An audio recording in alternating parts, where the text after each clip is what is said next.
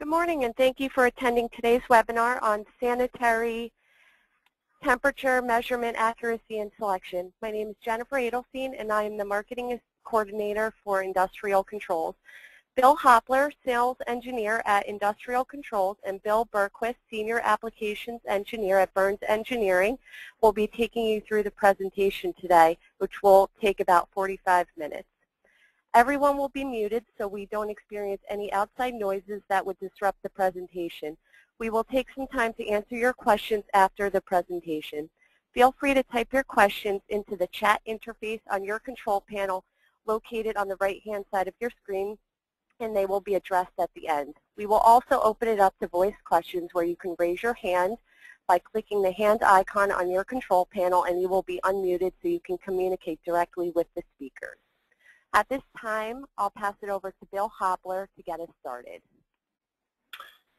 Yes, good morning. Good morning, everyone.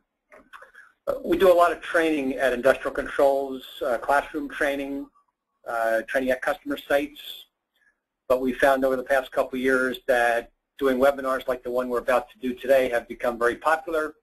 Uh, we're going to try and go for about 45 minutes and then have questions. Some of the webinars that I've done in the past have been on paperless recorders, radar level solutions, gas detection, humidity, temperature measurement basics, and combustion controls. Now the temperature measurement basics has always been a good one with good attendance. And this time we've decided to focus in on sanitary temperature measurement. We're being told by many of our pharm biotech customers that temperature accuracy on their processes continues to be a critical measurement for both quality and compliance. And as you will see in Bill Bergquist's presentation, there are many sources for errors in temperature measurement beyond just the accuracy of the sensor. So um, Bill, from, from there, please take over. Sure, yeah, that's a really good point. I have had lots of inquiries lately about how do we improve our accuracy. A lot of people have been using plus or minus half a degree C as their target, and they want to cut that in half now, and that presents uh, even more of a challenge. So um, today we're hopefully going to go through some of this stuff and find out, you know, what, what's the best way to accomplish that. And the first question is, is why is the RTD really the best sensor for a high accuracy measurement? And, and we're going to talk about that, um, show how we select the RTD, and then I really want to go through a lot of these sensor errors um, and, and, it's not only the temperature sensor that has error associated with it. There's a lot of things that go into the installation that can cause some fairly significant errors. In fact, even more so than what the sensor errors involved. And then at the, the end here, if we have time, we'll go through some calibration techniques. Um, the RTD, it's, it's very accurate, it's very repeatable, and has a very stable output over a long period of time. And that's really what we want in any temperature measurement. And we're going to end up with e efficient production that's going to help control our energy costs, and that's all going to help us produce a consistent product. And then if you have that third-party validation guy um, looking over your shoulder, it, it helps to have a good, uh, to be able to show them that you have a good long-term stable measurement and you're producing a quality product the, the, first thing when looking at an RTD is, is to understand the two types of sensing elements that are available. The, the, the one on top here is what we call a, a wire wound sensor. Um, it may be called a coil sensor. And down in the, the picture here, there's a thin film sensor.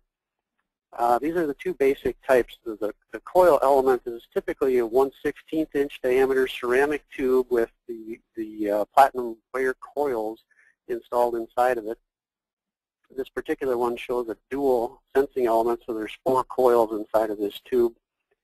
Um, this is a, a, photo of the actual coil, and this is a, uh, just the head of a, a push pin showing, just to give you some size comparison. The wire is usually about 7 ten thousandths diameter, and you get a little bit of an idea how small the, the thin film sensor is. And the thin films are just a thin um, layer of platinum that's deposited on a ceramic piece, and then you use a laser to trim a path in it so that you end up with 100 ohms at 0 degrees C. And of course, as the temperature changes, the temperature goes up, the resistance of these devices increases and can be corresponded to a temperature.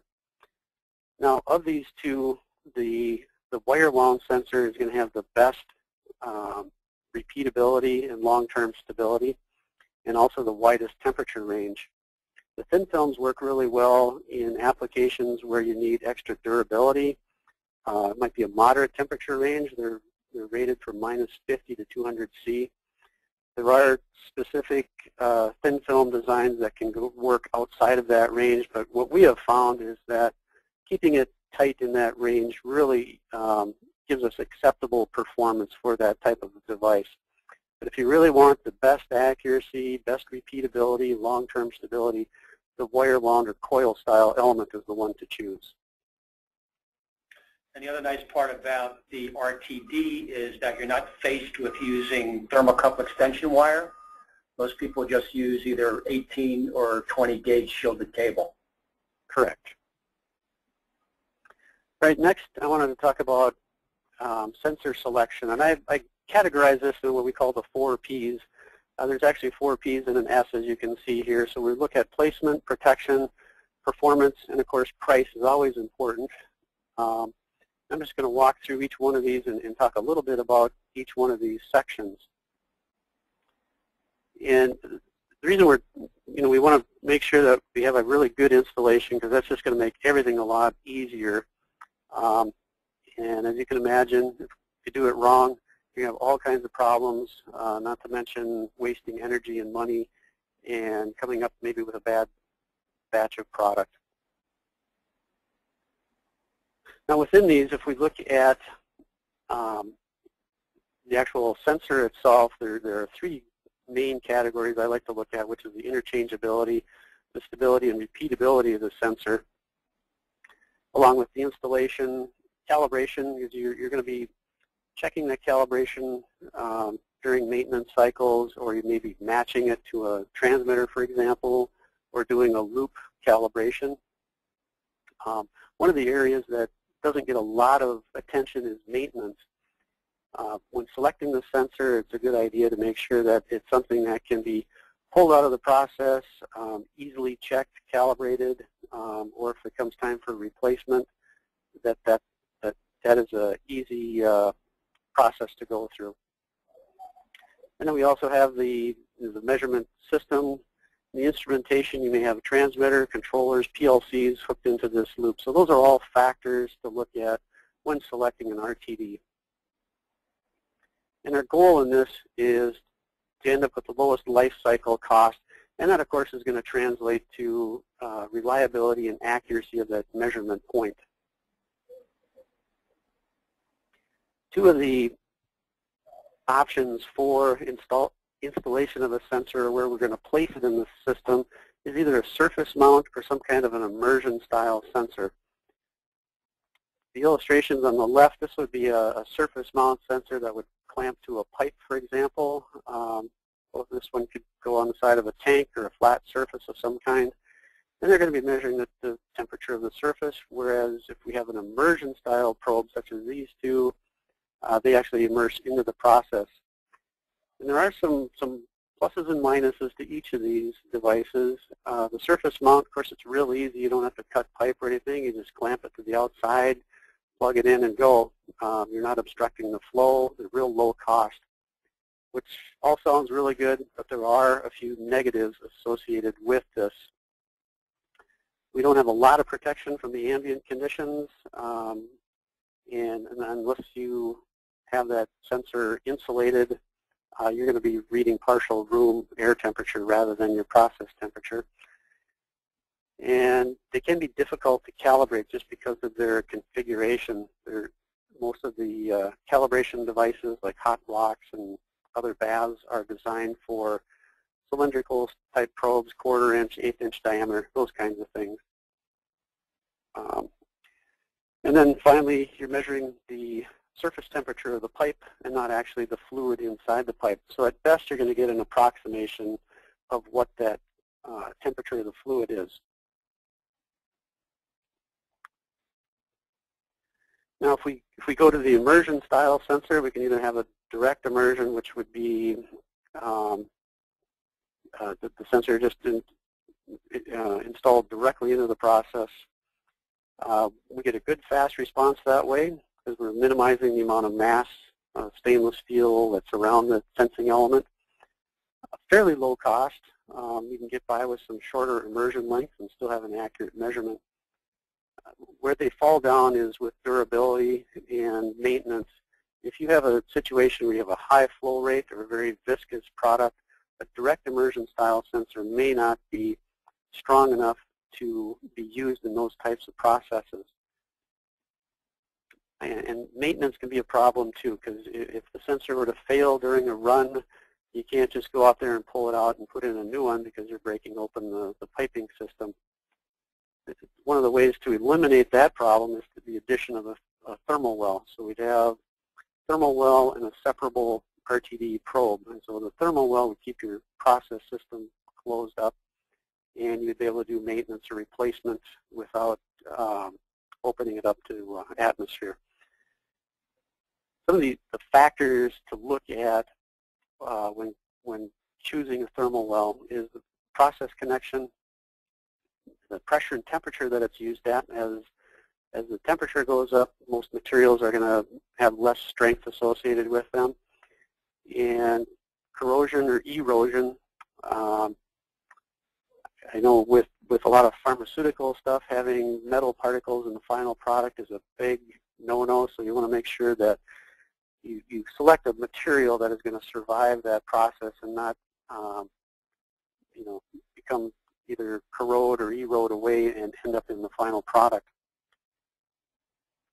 And of all the factors to uh, take into consideration for thermal wells, the uh, drag and vibration or, or, wake frequency and strength is probably the most important in the area that I see um, more questions and issues surrounding.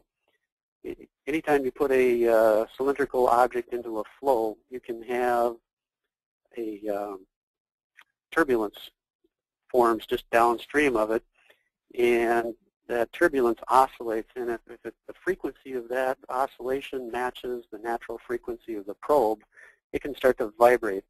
And that's going to do two things. First, it's going to destroy the sensing element, and you're going to get a bad temperature reading. And worst case scenario, the probe could actually break off and go downstream and end up who knows where, and it's never anywhere good. So it's really important to pay attention to that wake frequency and also if you have a, a viscous product or a, a, high flow that's going to cause enough drag on that sensor to uh, either bend it or break it off, there are calculations that we can do to assist people in selecting the right strength of probe slash thermal well combination to survive your process conditions.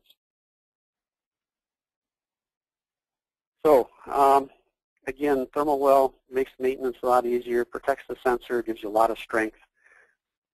Some of the, the drawbacks there, it, it can slow the response time, although there are some specialty thermal wells that have some fast response tips and uh, special probes that go inside that can keep that time response down to a reasonable level.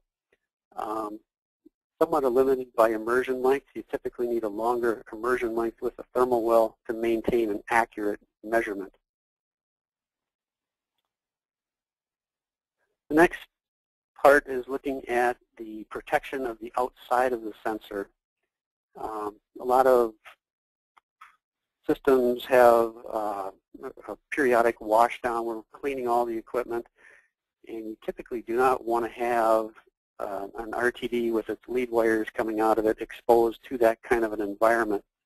And the connection head provides a, a, a good way to um, protect that sensing element from those washdown conditions.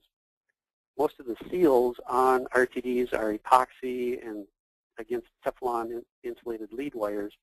And it works really well for humidity, but if you get liquid water on that kind of a device, over time, that water can migrate through and cause a bad temperature reading. So the connection head's a real good way to help prevent that. Um, and as you can see, there's just all different kinds of sizes. There's uh, explosion-proof, um, general purpose, aluminum, polypropylene, stainless steel, cast iron. Um, some have an epoxy paint coating, like is shown on the, the larger head here. Um, so there, there's a complete variety here. The real small connection head we see here, this is for, uh, it, it sees a lot of use in skids where um, real estate can be hard to come by or it might need to go in a real tight location. And there's actually transmitters that are small enough to fit inside of that. So if you have that kind of a situation, um, there are solutions for that. The heads make a real good spot to plug in a transmitter in the loop if you have a long distance of lead wire from the sensing element back to your control system. You may need to put a transmitter in there, or you may need a, a local indicator of, of temperature at that site um, either loop-powered or battery-powered versions.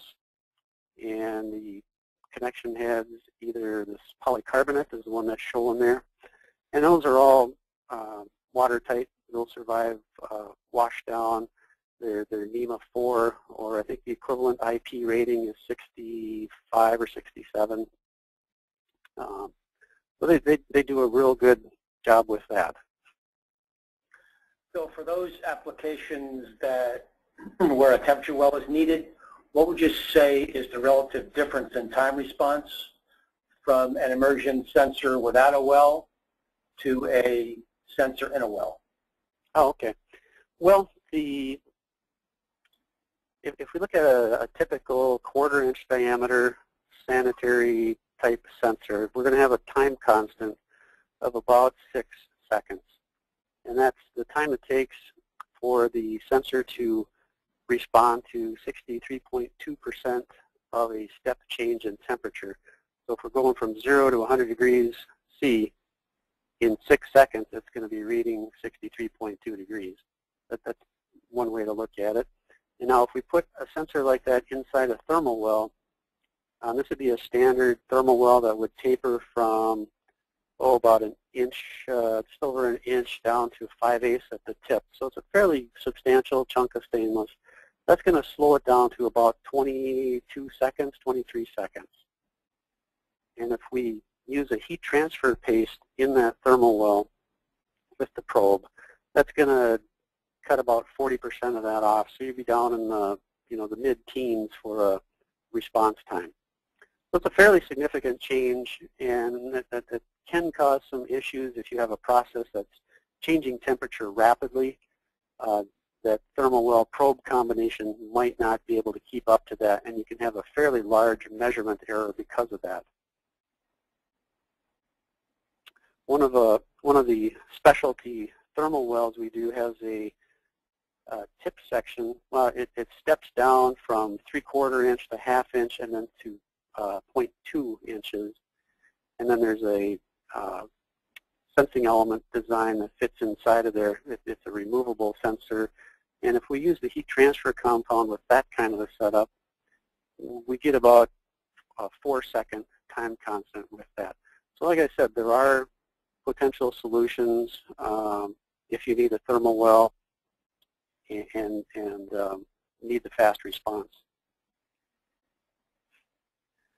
Next, I wanted to go through and just look at some of the um, different probe configurations. Um, you know, before we get into the performance part of this, I wanted to look at some of these and just kind of let people know what is available.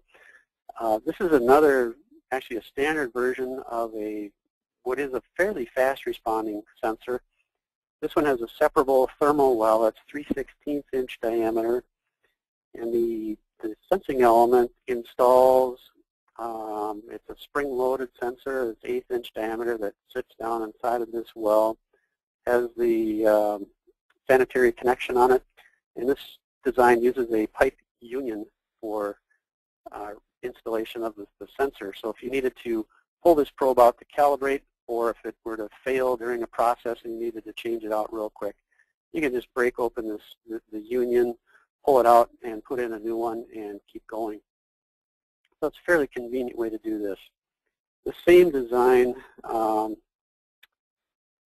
uh, is also available with a uh, another sanitary connection here rather than the, the threaded union.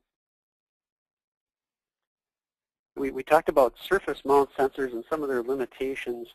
One of the things that is available is a what we call a non-intrusive, and this is kind of a hybrid surface mount sensor. And if we look at the inside, we can see that the, the little sensing element is actually bonded right to the outside of this pipe, so we get fairly good intimate contact with it.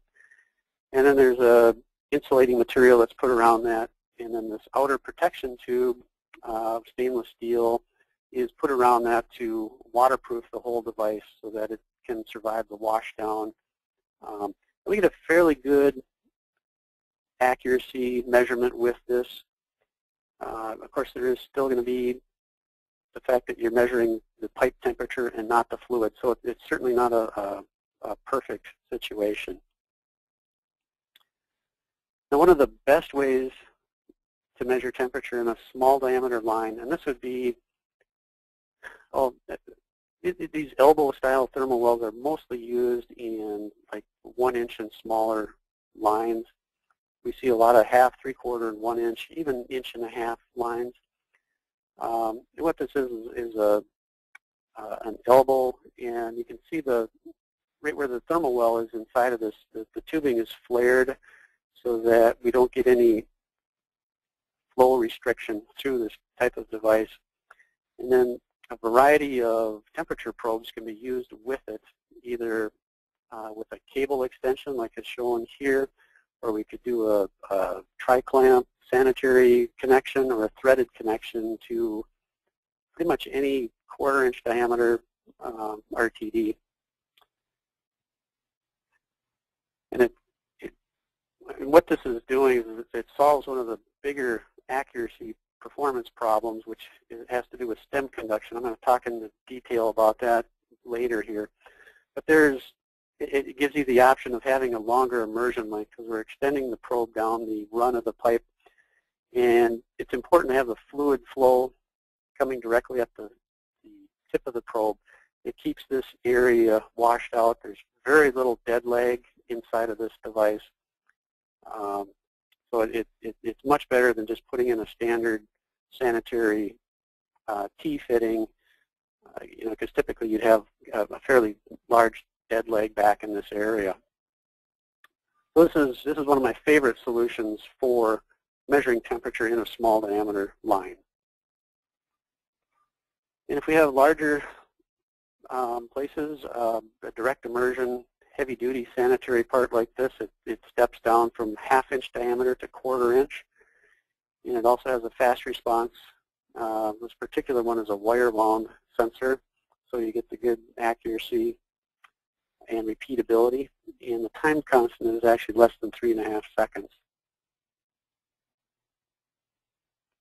Another version of a separable thermal well and probe, and this shows it the sensing element connected with a tri-clamp fitting.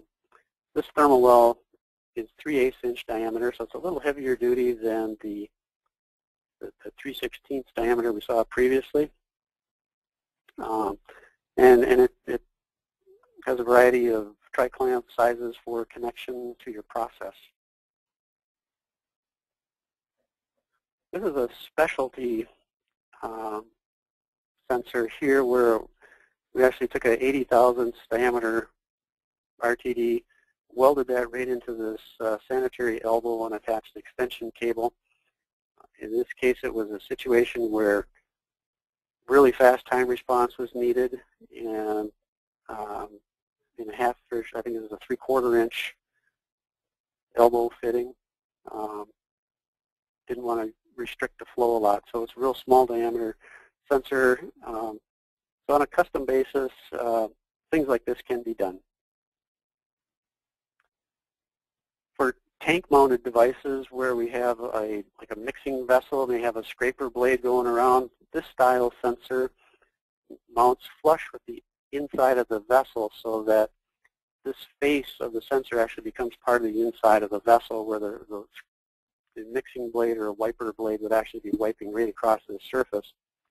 The sensing element is mounted right in the very center here. Um, provides a really good accurate measurement of the fluid in the tank. Uh, And then, of course, with a lot of these style sensors, um, the properties of the fluid are going to have an effect on how accurately they can measure that temperature. If you have fluids like water, uh, sensors like this work really well with that type of stuff. If it's a um, viscous product or if it has chunks in it or if it's, and, and one of the areas I've seen, if it has a, um, uh, I'm thinking of food and beverage type stuff where it has a high fat content, that actually becomes more difficult to measure accurately. Um, but this does solve that problem where if you have a blade swinging around, you cannot have a, an immersion style sensor in the way. And then finally, um, with all of these devices, they're going to need to be calibrated. This model 12001 sensor, it's a secondary standard platinum resistance thermometer, and it's a laboratory device that you would use to do a comparison calibration with the process probes to check up on them to see if they're maintaining their calibration. A lot of different diameters available, eighth inch on up to quarter inch, different lengths, um, operating range of minus 200 to 500 C. In the next section here, I wanted to talk about performance and some of the sources of error. And there are, um,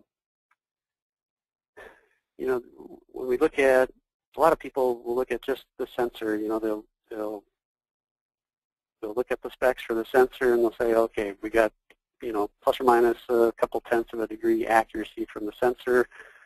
Put it in the process and go along on on their way and, and think that they're getting that plus or minus 0.2. And what I have found is that a big chunk of the error, in fact, I see more problems with the installation errors than with anything else. Usually the sensor is just a small fraction of what the total um, measurement error is, and a lot of it has to do with the installation. In addition to that, there's some other minor errors associated with the instrumentation and also the calibration of the sensor, because there, there's an uncertainty associated with that calibration. Some of the other error sources that are associated with the installation um, are vibration.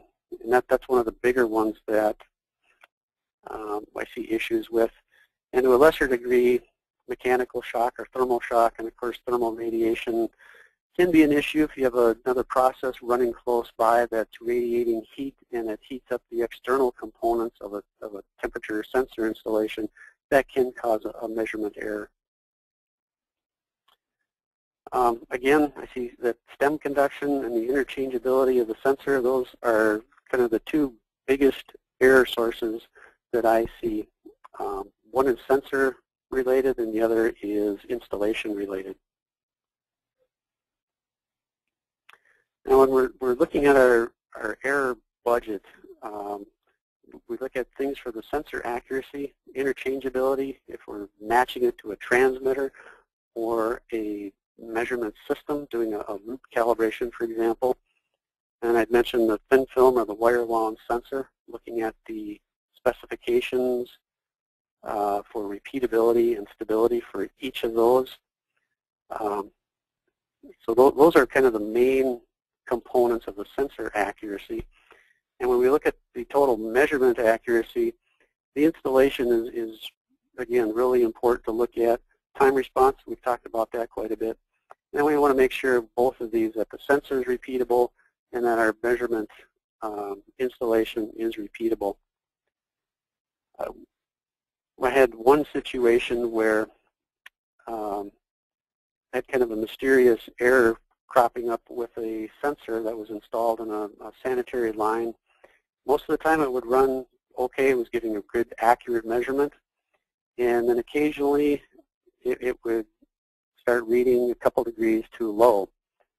And after we looked at the, the, the probe, the installation, uh, we started looking at the external environment and discovered that there was a, a fan that was being used occasionally to um, keep one of the operator's cool, and it was blowing on the external components of that temperature sensor and causing it to read too low of a reading. So the solution was to redirect the fan and not blow it on the sensor, and there we had um, that installation problem solved. So you never know where the problems are going to come from. Now one of the, the biggest um, sensor errors is this interchangeability, and it refers to how close the sensor is going to agree to a predefined R versus T relationship, resistance versus temperature. The two standards that are in use now are the ASTM 1137 and the international standard. And each of those has a grade A or a grade B uh, tolerance associated with it. And it's defined by these equations. So if you wanted to find out what the interchangeability was, you had a, a grade A RTD that followed the ASTM standard. Plug in the temperature here, it's an absolute value of temperature, so if it's a negative temperature, you just drop the negative sign. Crunch the number, and uh, you know, if this were 0 degrees C, just to make the math easy, we'd be at plus or minus 0.13 degrees C for the interchangeability. Now, the, the interchangeability represents about 85, maybe 90% of what the total probe accuracy would be. There's still the long-term repeatability to, to add into that, but this is a fairly good approximation of what you can expect for accuracy. As so what's the PT100, PT1000 designation? How does that relate to that table? Well, it would be the same. Um, you know, you would just move the decimal places all. And, and typically with a 1,000 ohm sensor, uh, since you get 10 times the, the, the platinum being used, you're going to have potential for more problems with it. And really the, the, the 100 ohm sensors are probably going to have the best stability and long-term repeatability versus a 1,000 ohm. And I, I, I discourage using the 1,000 ohm unless there's some specific need for it where you know you may have a two-wire system and using a 1,000 ohm sensor makes that lead wire error a very small percentage of that total resistance. So that, that's really the only way place you'd want to use a 1,000 ohm sensor. Now when we look at the difference between the two standards, we can see that the uh, ASTM standard has slightly tighter tolerances uh, than the IEC standard. Now one of the, the, the biggest installation error that I see is with stem conduction. This table shows the error as a percentage of delta T. So if we have a, you know, room temperature 20 degrees C and the process is running at 100 degrees C, we have an 80 degree delta. And down here at uh, with with this particular setup, which is a tapered standard thermal well, we need to get out to about two and a half, three inches of immersion to nearly eliminate the stem conduction error. And by the time we get out here to about four and a half inches, it's uh, hardly even measurable anymore. And what's happening here is that this ambient conditions are, are affecting the sensing element by conducting heat along all the different components of the assembly including the lead wires that lead down to the sensing element. So we need to make sure that we have enough immersion length to overcome that, that stem conduction or immersion error. A couple different ways to do that. We've looked at the, the um, elbow thermal well, and if you do it in a, a standard sanitary T like this, we have going in the outlet side, that, that's a fairly good way to do it. Even better yet, if you can put the probe down the run, this shows the flow coming up uh, up this direction. You do have a little bit of dead leg back here, which is not desirable. So this is really going to be the best area for installing a standard RTD into a, a sanitary T. And now I wanted to just uh, show a quick calculation of what it costs to do um, kind of a bad installation of, you know, maybe getting a, a, a measurement error. And that the cost can be very significant.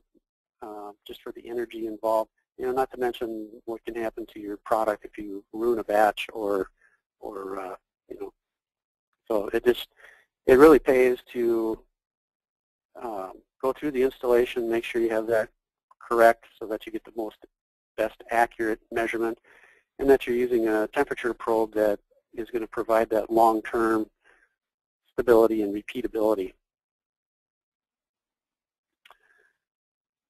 The, the next two slides here just show a list of all the different error sources um, for RTDs, and I think this is a fairly comprehensive list. So you could use this kind of a um, takeaway here if you're trying to come up with an error budget for your measurement. And we can certainly help you fill in all the numbers for all these various uh, error sources. Finally here I wanted to talk about service life. There's a, a bunch of things that go into calculating the kind of total life cycle cost of the sensor and typically the initial cost is one of the smallest ones. Um, goes anywhere from operating efficiency down to uh, product loss if, if the sensor is not performing. The way we get there is to look at the, the application, the environment, and um, take all those things into consideration, make sure that we're choosing the right style of temperature sensor, whether it's wire wound or thin film, make sure the moisture seal is appropriate for that device. Um, there are sensors that are designed for use in steam autoclaves, for example, where we're pulling a vacuum and putting in steam, and um, that'll destroy a, a, a, standard RTD fairly quickly. The um, spring loading applications for thermal wells, uh, taking all these things into consideration that we've talked about, um, it's going to help you repeat the original specifications for that probe during numerous calibration cycles. You know, if we look at an analogy here of, of the USS Constitution, old Ironside, use high-quality products, um, maintained it over the years, and, and, and, it's still floating and still being used. So it really pays to uh, look at all of these uh, different characteristics of the RTD and the installation. so finally here, um, wanted to uh, talk about calibration of RTDs. And there, and, and the reason that uh, you want to do this is that RTDs do drift over time. Um, and then it's going to be highly dependent on the installation. Things that can cause them to, well, before I get into that, I wanted to just show an example here of just the effects of temperature on the RTD drift. Now most of the pharmaceutical processes are going to be, you know, less than 200 C. So as you can see, the, the error here after 1,000 hours at uh, at 200 C, you know, we're down on the 0.0 something degrees C. Um, and that's going to be for the first 1,000 hours. This is a graph is also kind of a, a um, worst case scenario too. So the, the actual average drift is going to be about half of what's shown on this chart. So we're, we're down in the, you know, maybe 0.03 as a, as a maximum number. So say 0.01 would be a, uh, you know, pretty typical number after 1,000 hours. You're going to see in some situations where the RTD would really not drift at all, but it, it there is that potential, so we want to check these occasionally. Um, and when we're looking at a calibration interval, um, you know, it's, it's something that you're going to have to uh, pick a number and check it and see if it's changed. And then if you can get through five of those calibration cycles without it changing, you can actually double that interval couple different ways that um, you might want to accomplish this. We can characterize the probe where we're calibrating it at several temperatures. You may use 0, 100, and 200 degrees C, for example. Or we can just do a quick tolerance check, which would be a, a check in an ice bath and, and compare it to the uh, R versus T that's in either the IEC or the ASTM standards. You know, one of the first things that needs to be done before you calibrate the sensor is to check the insulation resistance. And this is going to do a couple things. One, it will check to see if any moisture has gotten inside the probe, um, either down to the sensing element or up inside where the internal lead wires are connected to the external wires. Moisture in those areas uh, can cause shunting either between the, the coils on a sensing element such as this or between the lead wires. And electricity taking the path of least resistance is going to take that path rather than going through the platinum and you're going to end up with a low temperature reading. And this can also happen with other contaminants that may be inside the probe or have gotten in there. But most of the time, it, it's a moisture issue. So doing this test first is really important. And at a minimum, you should do it at 50 volts, and we should see greater than 100 megohms between the lead wires and the case of the probe. The factory probes are tested at 500 volts, and they have to be greater than 500 megohms at room temperature.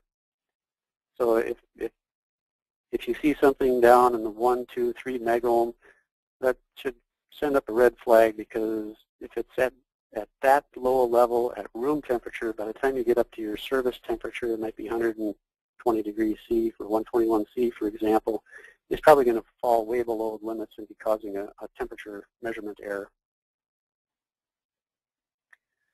The next step would be to check the probe in an ice bath. And this is a real easy to produce. Typically we'd use distilled water to, to make the ice um, and use an insulated container of some kind. You can put a stirring motor in it. Um, doesn't make a huge amount of difference, but um, at a minimum, you should have this insulated container, fill it full of crushed ice made with distilled or purified water, and then pour in just enough water to fill in the cracks in between the ice. You do not want the ice to be floating. And then use a, uh, you know, don't take your process probe and jam a hole in it to, and, and, stick it in that way. Use another old probe that you're that you're not using anymore, some kind of a rod to form a hole, and then set the your your um, process probes in, in to measure them. The next way to do this would be what we call a comparison calibration. And this is just comparing the two sensors to each other where we have a, a standard such as the model 12001. Uh, and you can do it at, at uh, elevated temperatures this way. Uh, uncertainties range from, you know, a couple zeros 1 to 0.01 degrees C. If you're doing this kind of a comparison calibration in the field, we see uncertainties down in that 0.05 to maybe a half a degree C. Um, looking at a, a typical comparison calibration setup, we have an SPRT here, which is the uh, primary temperature standard, and the units under test here, and some, uh, this happens to be a, uh, an AC bridge, and it's going through a switch box and back to a PC to uh, crunch all the numbers for each of those probes. Some of the equipment that's used from uh, liquid nitrogen, uh, various readouts, um, calibration baths. This particular one right here uses silicone oil, and it uh, goes up to a couple hundred degrees C. Um,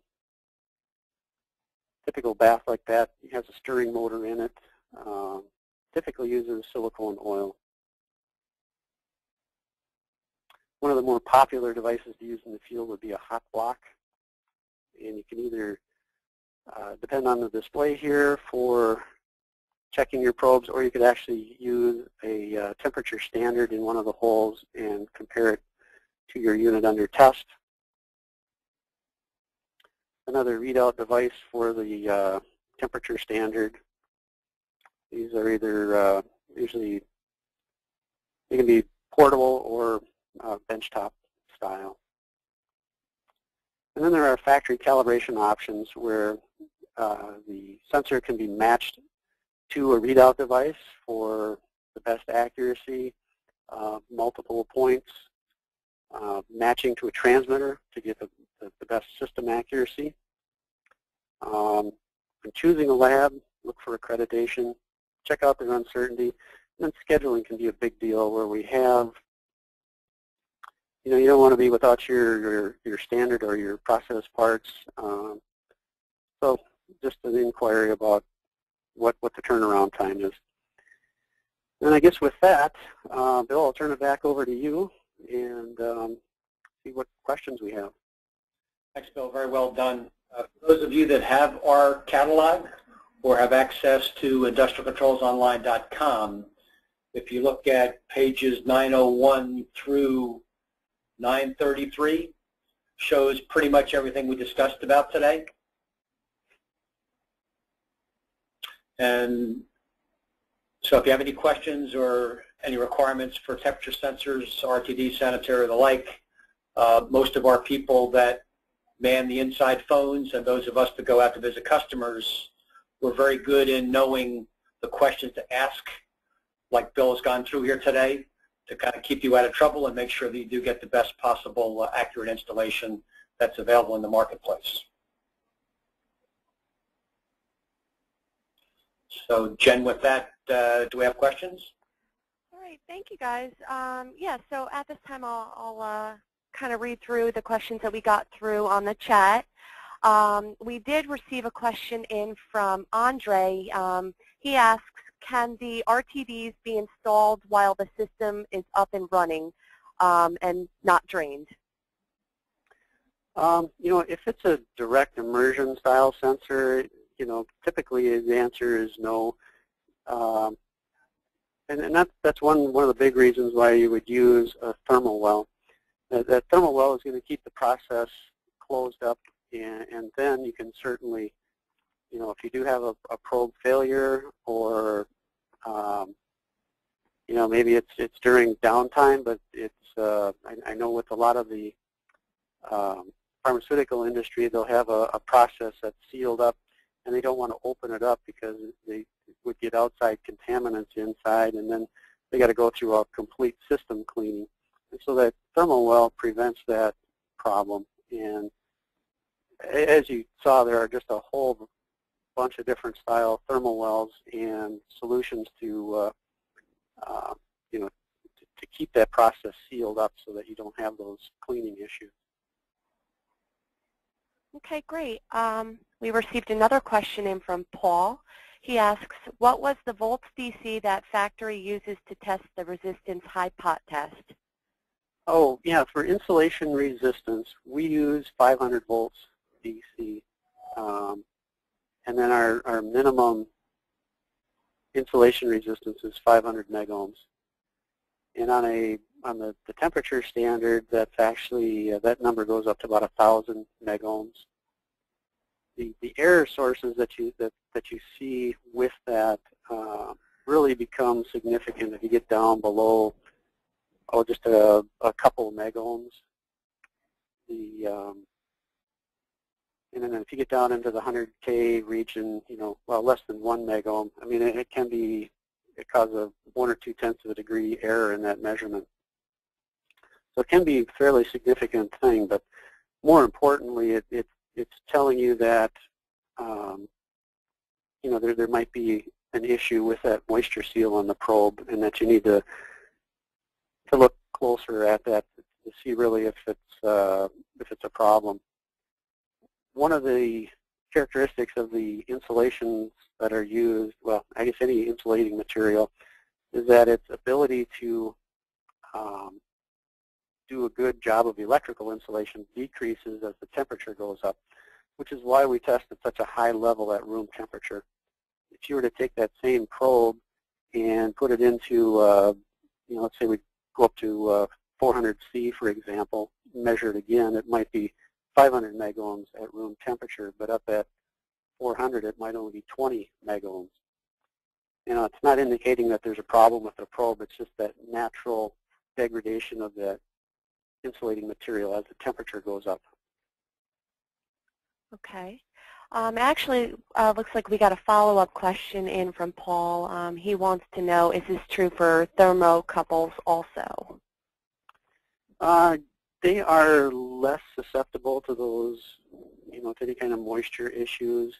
I could think if if it's a uh, like an ungrounded junction thermocouple, and you had moisture in the probe, you may get some, um, you know, path to ground, but usually not a real significant issue.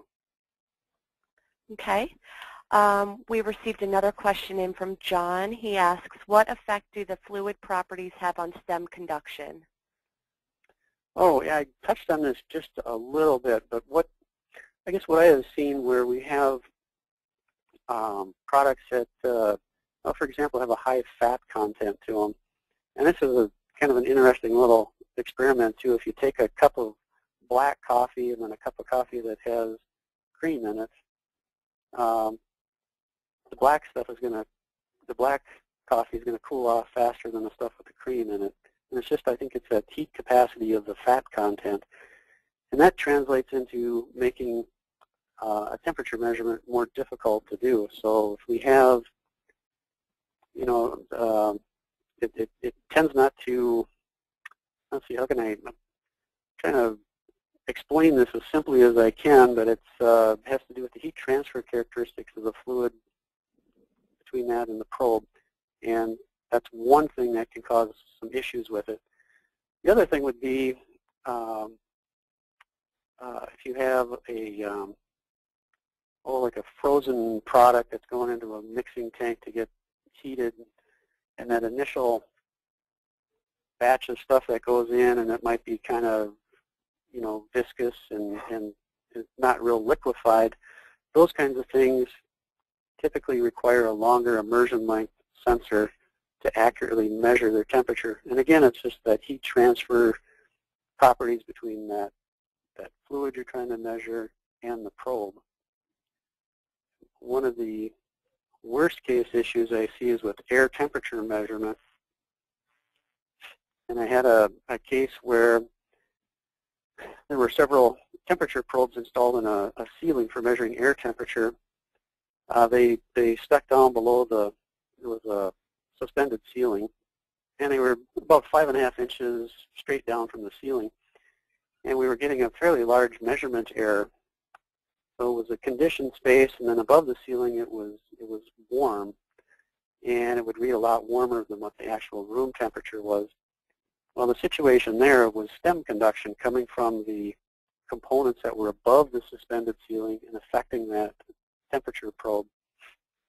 Um, and the solution there was just to come use a, a, longer probe. We actually ended up with a 23 or 24 inch long probe and come came down at five and a half inches and then put a 90 degree bend in it and so they were suspended from the ceiling that way.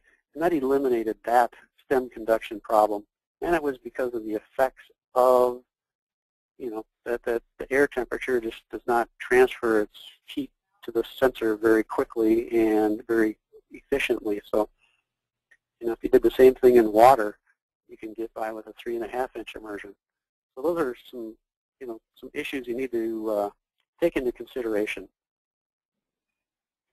All right. Um, we received another question in from Steve. He asks, will a heat transfer paste improve performance of a surface mount sensor?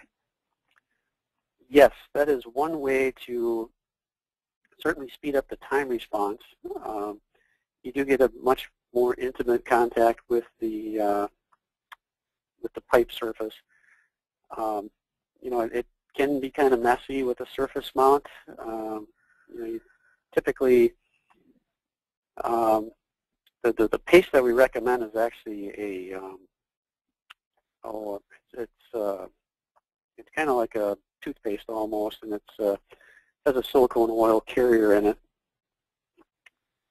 And so you, you put it on a surface and it won't run or anything, but it, it can be messy if you're going back to uh, calibrate the sensor. You need to, to wipe that stuff off and clean it up. But it does a fairly good job of improving the time response and getting you a little more accurate measurement. Okay. Well, thank you, Bill. Um, we seem to be out of time. Um, so just wanted to let everyone know that if you missed any part of um, today's presentation, uh, we will post a recorded version on our website. That's industrialcontrolsonline.com. Um, within the next couple of days, uh, we will email everyone a link to the video and our contact information if you have any further questions or feedback for future webinars. So at this time, I'm going to send you a survey link through the chat feature um, on your control panel. Um, and we would greatly appreciate it if you would fill out the survey and let us know what you thought about the presentation and provide us with recommendations for future webinar topics that you're interested in. Um, so I just wanted to thank everyone again for attending, and we look forward to having you back.